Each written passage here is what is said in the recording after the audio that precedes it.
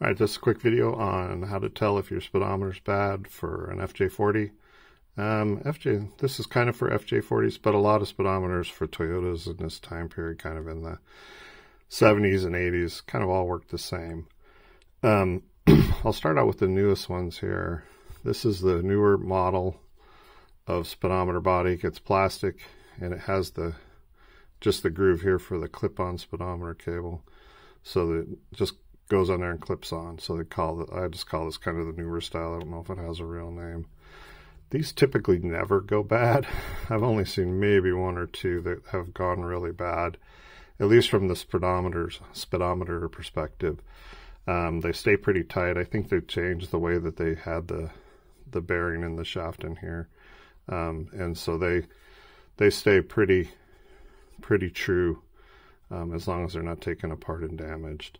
Now the odometers will bur will burn out because there's a couple gears back here, way back in the back here.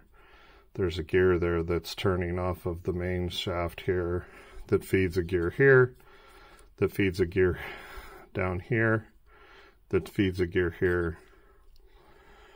And the one thing I'll say is that if your speedometer or your odometer is stuck and these gears are just binding against each other constantly, um, they'll eventually wear themselves out. They'll, the little teeth, especially in this back section here, will get worn out. So if you're spinning it with a drill um, and this gear here isn't turning, there's a good chance that this is worn out. And that's not really removable back there. So you're going to be searching for a new body housing um, if you if you have that happen. But by and large, these new ones, they don't, they just typically don't go bad.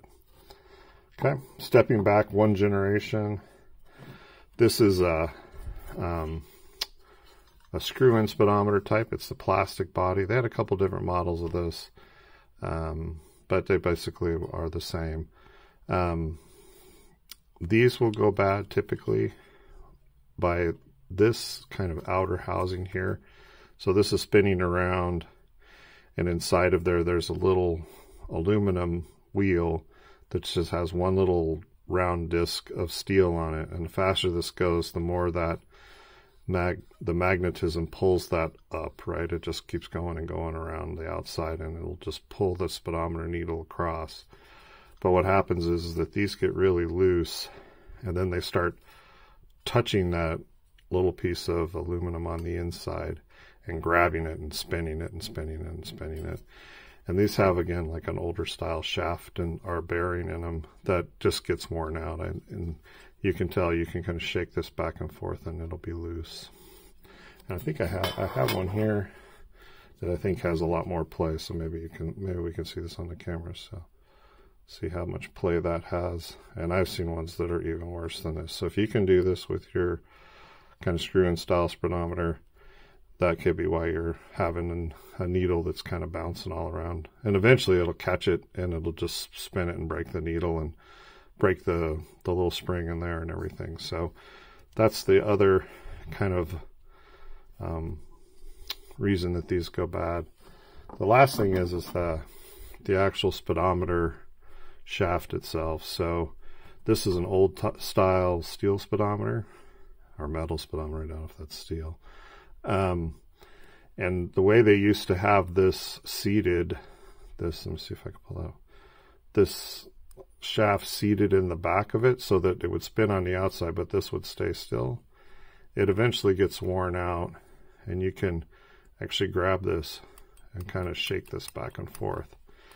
And if you can come in here and you can see that piece there that's moving on the inside, that's the aluminum piece if that aluminum piece is, is got that much play in it, again, as the magnet inside of there is spinning, you know, a thousand RPM, it will it'll have a tendency to start grabbing this and making the needle just jump really fast, you know, all the way around or, you know, just kind of bouncing all over the place because it's not keeping a it's not keeping a space between the magnet that's turning inside and then this little guy right here. So there's a few things to check on your speedometer um, if you're having trouble with it. Now, if you do have trouble with these, if, if these are worn out, these things are around. You just kind of have to look on eBay or you can give me a buzz.